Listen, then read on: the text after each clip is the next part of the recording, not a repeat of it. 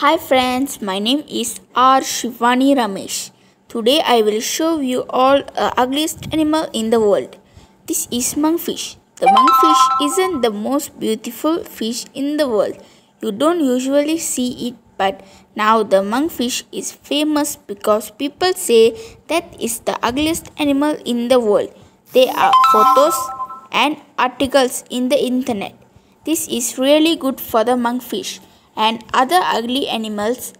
The monkfish is very dangerous and we can also cook the fish. Come on, we see the monkfish and the foods.